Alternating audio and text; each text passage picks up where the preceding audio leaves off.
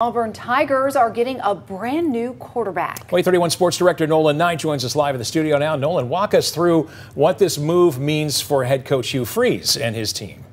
Yeah, Marie and Dan, this means that the Auburn Tigers aren't playing around in the transfer portal as today they announced the signing of former Michigan State quarterback Payton Thorne. Thorne started over 20 games for the Michigan State Spartans, racking up six, a 16 and 9 record, which included an 11 and 1 season in 2021. The addition brings in a quarterback with the skill set to start right away, bringing in an immediate talent to compete with incumbent starter Robby Ashford, who tweeted today, "Let's work."